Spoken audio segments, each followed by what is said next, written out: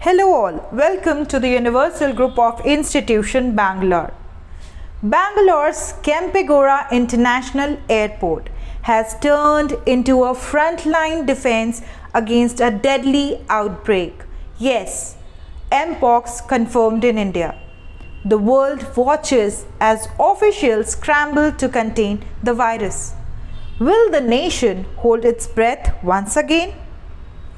Four dedicated testing kiosks screens over 2,000 international passengers every day, especially those arriving from high-risk zones from Africa. But that's not all.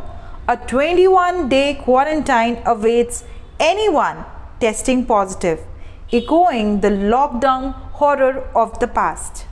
Fever, rashes, muscle stiffness, all signs of potential danger. Airport officials aren't taking any chances with the top officers leading the charge to ensure no case slips through the cracks.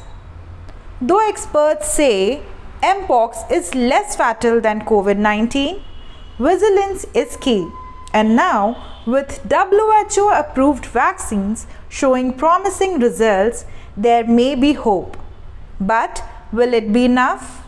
Bangalore fights back. Will Mpox be contained?